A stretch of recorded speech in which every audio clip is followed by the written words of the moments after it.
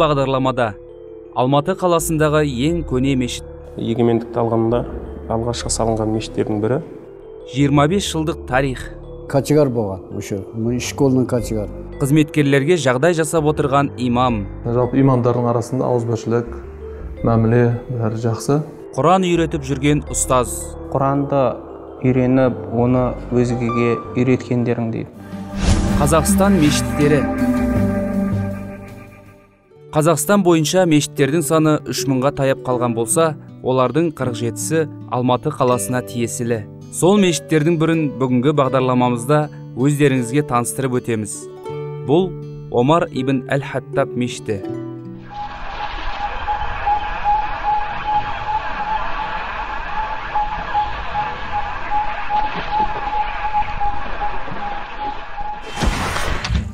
Мешіт мекені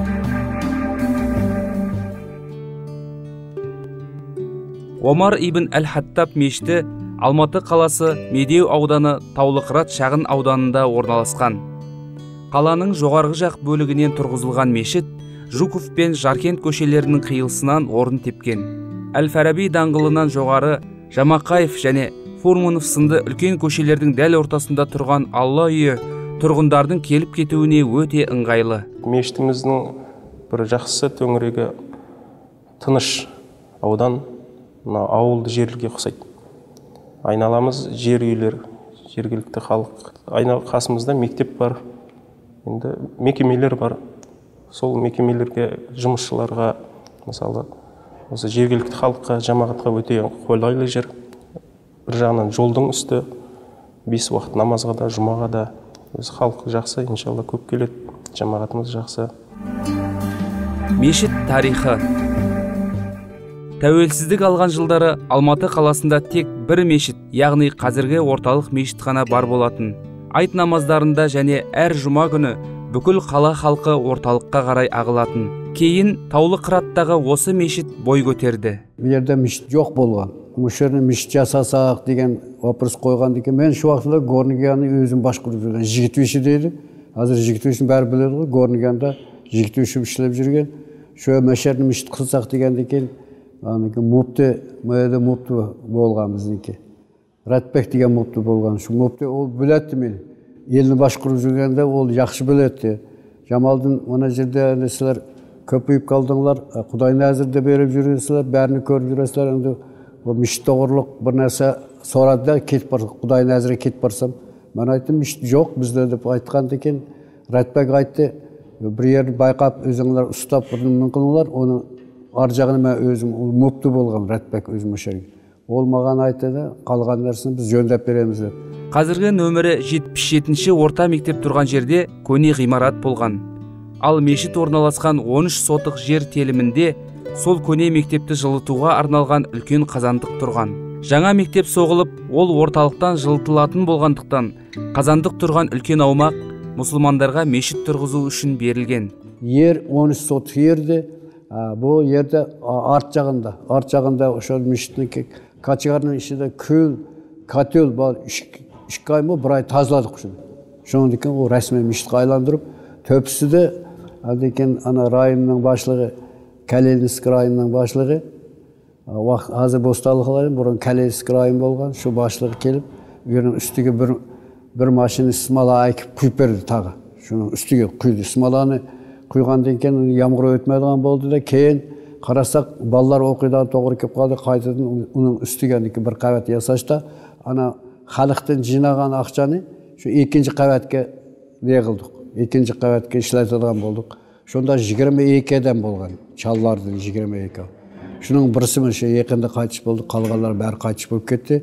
Ошол мен шулардың ішінде мен бар әзірше. Мен осы мешітке 2001 жылы шілде айында жұмысқа келдім. Ол кезде бұл мешіт ескі мешіт болатын. Сосын оның үстің этажын қосып жанына бастырма қосып кеңейткен. 2012 жылы кәсіп бір осы жамағатымыздан бір кәсіпкерлер өз мойнына алып алланың разылығы үшін сауап болады деп мешітті бұзып орнына осы жаңа мешітті қайтадан тұрғызып берді. 2013 жылы 31 мамыр күні ашылды. Осы мешітіміз. Оған дейін жаңа айтқанымыздай ескі мешіт болды. Ә, осы жергілікті тұрғын басақов зайнаудин деген қажы 20 жылдай имам болды. Ол кісі жаңағы мешітке осы жергілікті халыққа қызмет етті. Ә, қамерденов жамалдин деген ақсақал. Ол кісі де жиырма жылға тарта азаншы болды.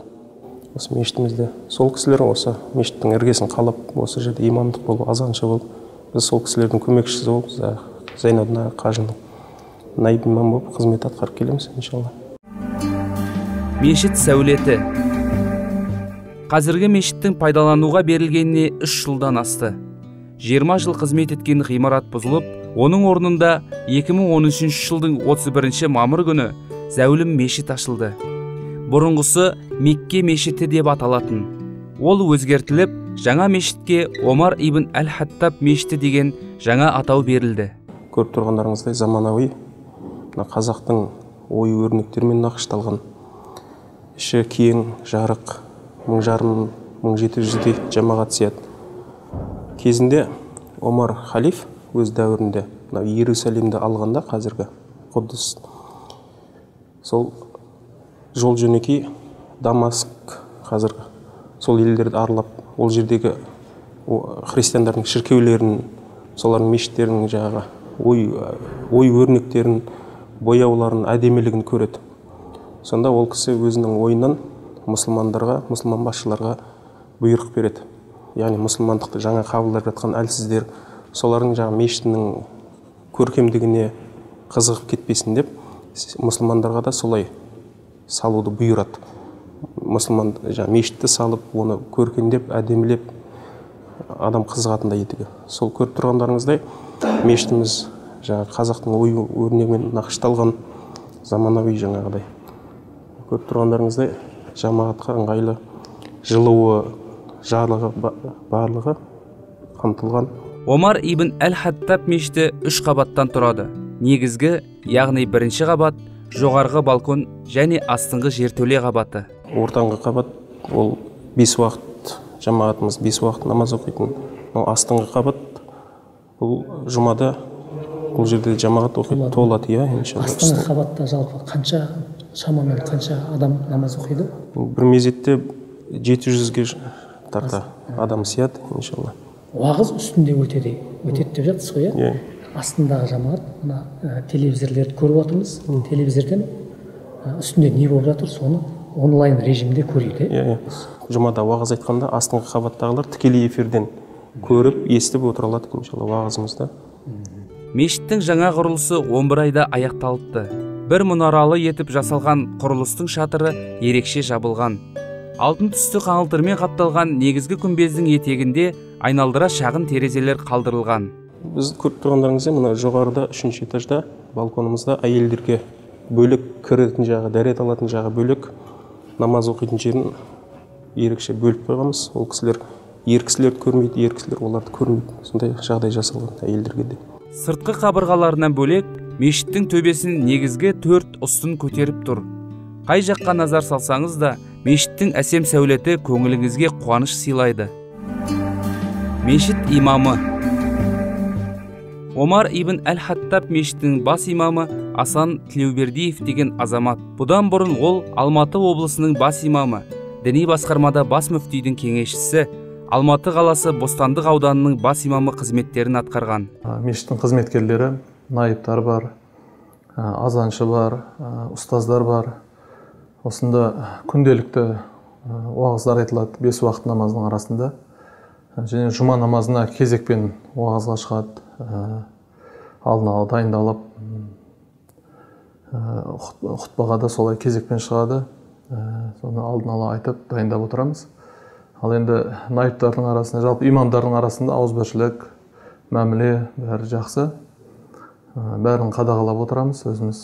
Азанның уақытысында айтылуын жұма күндері кәфтің кәфтің оқытылуы және ең маңыздысы намаз уақыттарын уақытысында қадағалап отырамыз. Жамағат та соған үйренген сол уақытысында бәрі құдайға шүкір мешітте тәртіп бар. Ә, жамағат арасында да имамдар арасында да жақсы мәміле ынтымақ ауызбіршілік бар. Бәрін қосқанда сол сегіз адам қызмет атқарады. Мешіт қызметі. Әр жұма сайынғы ізгі дәстүрге айналған уағыз насихат жұмыстары омар ибн әл хаттаб мешітінде тұрақты түрде жүргізіліп келеді. Бұрынғыдай емес қазіргі кезде қазақстан республикасы аумағындағы барлық мешіттерде жұма күні бір ғана тақырып айтылуы қажет деп қарар шыққан. Жұмаға жиналған жамағат қияметтің кіші және үлкен белгілеріне қатысты уағыз тыңдады. Қиямет есеп күн есеп беретін күн әділ соттың күні жақсы мен жаманды ажырататын күн. Сол сияқты пайғамбарымыз саллаллаху алейхи уассалам айтқандай қияметтің өзі екіге бөлінеді. Қияметтің үлкен белгілері және кіші белгілері деп. Кіші белгілерінің өзін ғұламаларымыз неге бөлген үшке бөлген сауат ашу. Алматы қаласындағы 47 мешіттің 41-інде діни сауат ашу курстары тұрақты түрде жүргізіледі. Алматы қаласы бойынша бастауыш және жалғастырушы топтарда барлығы 10887 шәкірт діни білім алып шығыпты. Сондай діни сауат ашу курстарының бірі осы мешітте орналасқан. Мұнда құран ақида фих және араб тілі сабақтары жүргізіледі. Абай атамыз айтпақшы ұстаздық еткен жалықпас үйретуден балаға демекші ол ұстаз болу өзгелерді жаңағыдай алланың дініне құран кәрімге махаббат қоюды үйрету ол өте үлкен нығметтердің бірі және де жауапкершілігі мол іс әрекет пайғамбарымыз саллаллаху алейхи уассалам хадисінде айтады сендердің ең жақсыларың құранды үйреніп оны өзгеге үйреткендерің дейді. Сол құранды оқып үйреніп алланың қалауымен біздерге де ұстаздар ол құранды мәнерлеп оқуды үйретті.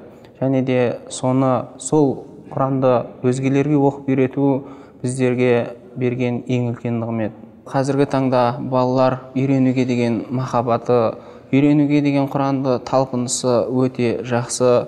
Бұл мешітке әр жастағы бауырларымыз мектеп жасындағы жас бүлдіршіндер және де мектеп бітірген университет қабырғасында жүрген бауырларымыз және де отбасын асырап отбасына басшы болып жүрген бауырларымыз және де үлкен ақсақал аталарымыз да келіп құранды оқуға құранды үйренуге аллаға шүкір көптеген талпыныстар бар. Осы жерде осы алланың үйінде ілім алу діни ілім аллахты тану ілімі және де іс әрекет намаз және де фих ілімдері және де хадис ілімдері соған қарамай және де осы құранның ережелерін үйрену тәжвид ілімі де оқылып жатыр. Әдеп ақлақ деген ілімдер осы мешітте қазіргі таңда сабақ өтіп жатқан жайымыз бар.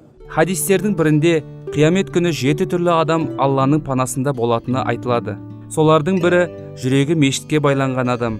Яғни қандай жағдайда да тіршілігін құлшылығына бағындырып мешітке келуге уақыт табатын адам.